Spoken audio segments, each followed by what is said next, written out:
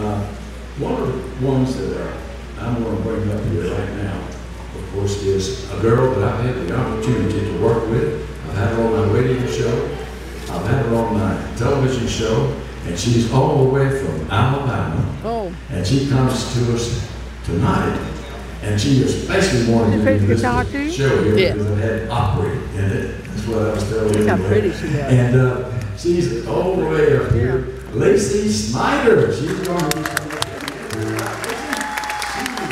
Really the pride of Rogersville,